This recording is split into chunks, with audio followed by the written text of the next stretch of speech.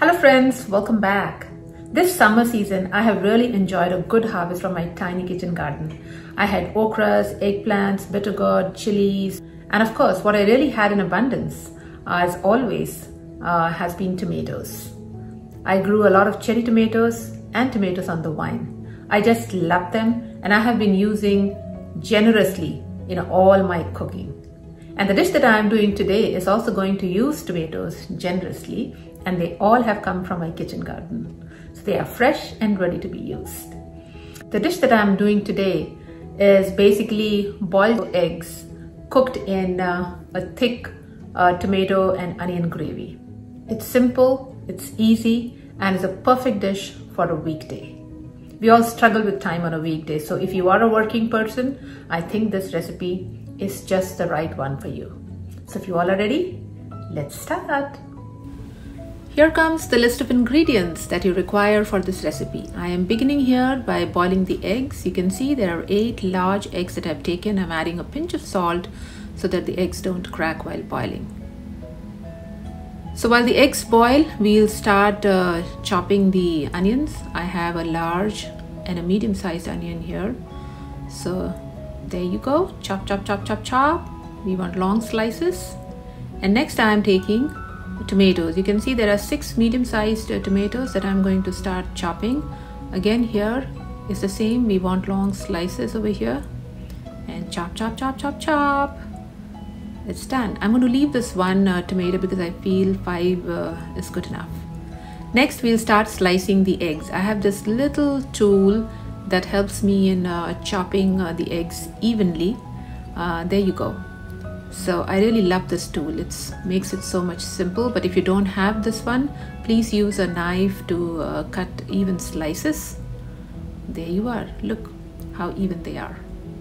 So all the eggs have been sliced. Next we'll start to cook. And in a pan heat 3 to 4 uh, tablespoons of cooking oil and then add the sliced onions. I'm using sweet onions here but you can use uh, red onion or yellow onions whatever is your preference. Cook them for three to four minutes and once they start to turn translucent go ahead and add the tomatoes. Ooh, look at that color. I just love this red color and tomatoes are my real favorite.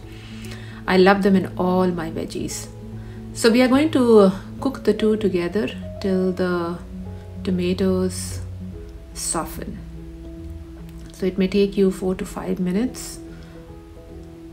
There you go. You can see the tomatoes are beginning to soften and we can see a thick sauce beginning to form with all those juices coming out of the tomatoes.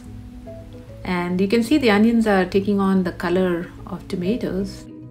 If you're still watching the video please do not forget to like subscribe, and also share with your friends. So when your tomatoes are almost done, go ahead and add salt. Yeah, do this as per your taste. And then add 3 tablespoons of tomato ketchup. Yes, we need that. I love ketchup. Follow this up with 1 tablespoon of sriracha sauce and 1 teaspoon of granulated sugar. Mm. Next, give them a nice mix uh, the sriracha sauce is going to bring the heat that we need and the tomato ketchup and sugar will balance out with its sweetness. So cook this until it's reduced to a thick consistency and then your sauce is ready. Next we'll start assembling. So take the serving bowl and place the sauce at the bottom. Once you've covered the bottom with the sauce, place the sliced eggs yeah look at that. It's looking so so delicious. Now there's no hard and fast that you have to start with the tomato sauce at the bottom. You can uh, start with the eggs but I like to do it this way because it gives a nice base to the eggs and it's easy to scoop them out. So once we have laid the layer of eggs go ahead and place the sauce on top of it. Yeah so make sure to save uh, some more because we're going to put another layer of eggs. There you go. So once you have completed all the eggs go ahead and add the sauce at the top. Yes this is the final three slices and then garnish it with fresh coriander leaves. Yeah it not only adds color but it adds flavor too and now it's ready to be served. Okay let's enjoy it now. Oh look at that scoop. Mm, can't wait to eat. So i hope you all enjoyed watching this uh, video. Thank you for watching and do come back for more. See ya